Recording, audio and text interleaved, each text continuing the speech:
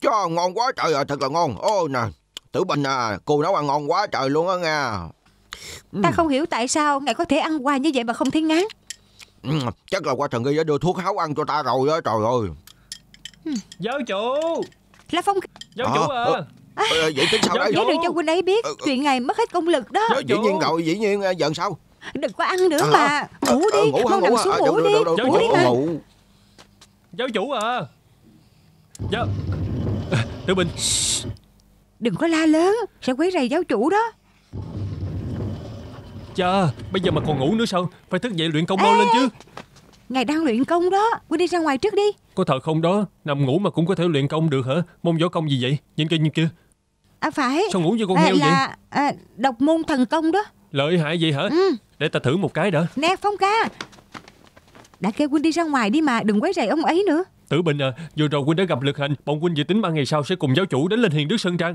Bây giờ không lo chuyện công Chừng ấy sẽ thành bãi gác dụng đó. Như vậy sao được chứ? Nè trời ơi Giáo chủ Chỉ có à ba ngày thôi Thức sao? dậy đi Thức dậy đi mà. Thức dậy thức Đánh dậy thức thức ông ấy dậy. cũng vô dụng thôi. Ông ấy đã mất hết công lực rồi. Trời, trời ơi, kêu ta đừng có nói sao cô lại nói. Giáo chủ à đừng có nói dối tôi chứ Tại sao lại như vậy hả Nói đi Ê, ê, ê, ta chọn người làm gì? Ta mất hết công lực thật mà bây giờ ta không có khác gì mấy cái tên bán cáo ngoài chợ.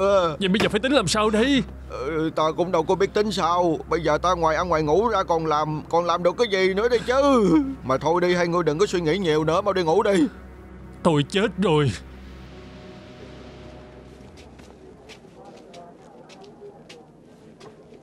Ê ấy trời ơi không thể nào. Tại sao lại như vậy chứ?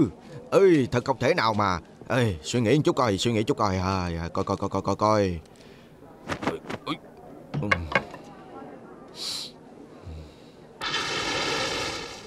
Ơi Trời ơi Cái gì vậy? Ơi Trời ơi cái quả cầu này Cái quả cầu Quả cầu này của ai? Quả cầu này Quả cầu của ai vậy? Hả của ai? Của ai sao không trả lời? Hả ai đó? Ai dám Ừ, ừ.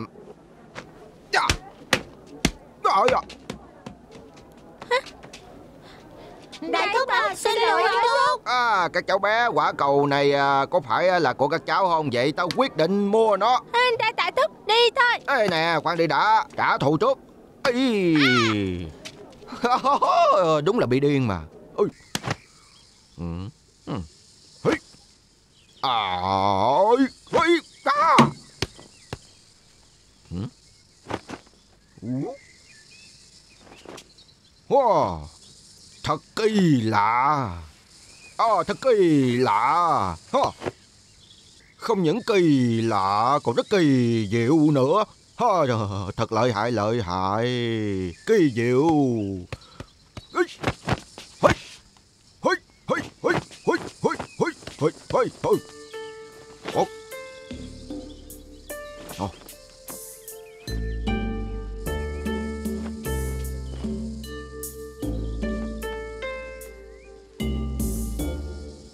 Hey, à, đây là cái gì? Đây là nguyên lý gì? Đây là nguyên lý gì? Tại sao nghĩ hoài mà không ra vậy hả? Thật khiến người ta thắc mắc mà không biết phải làm sao. Đúng là kỳ lạ. Ê, đúng là kỳ lạ.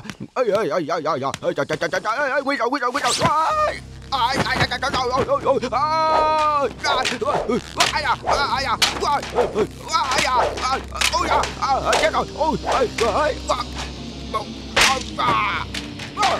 ôi, à, à, ta nghĩ ra cách rồi.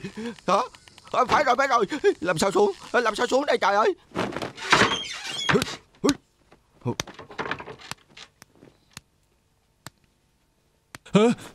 Có ma!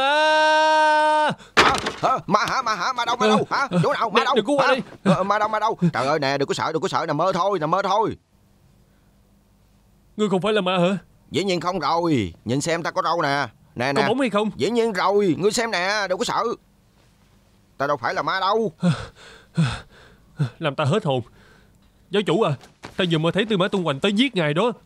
Ôi, ta không có sợ hắn đâu. Ta mới vừa nghiên cứu ra bộ kinh thế kỳ công Tư mã tung hoành trong mắt của ta. Không là cái gì hết trơn. Nhưng mà công lực của ngài Đã có lại rồi. À mà thôi đừng nói thêm nữa. Ta dẫn người đi chơi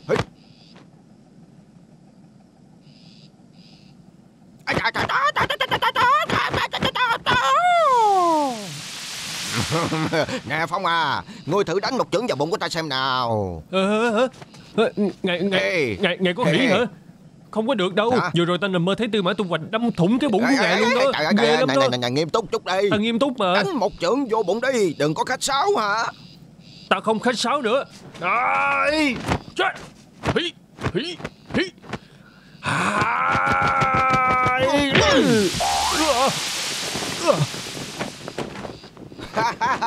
Đáng đợi dần ngươi chưa Đánh ta mạnh tay như vậy hả Thấy lợi hại không? Ai à, lợi hại?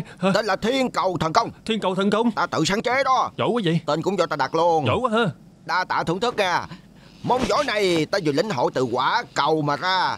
Ra tay càng mạnh thì sức phản hồi càng lớn ha. Nè cho dù là tư mã tung hoành cũng bị ta trả đũa thôi. Thần kỳ thần kỳ. Nè dạy cho ta với Thật chứ. Ừ, ừ, Ngươi phải tự xem mình như quả cầu đã Xem nè. Ừ. Có được không? Rồi này này nè Ngươi nghĩ xem Đâu có ai có thể một quyền đánh dở quả cầu chứ. Có lý. Có lý là được rồi nghe Nhưng mà phải có Có cái gì hả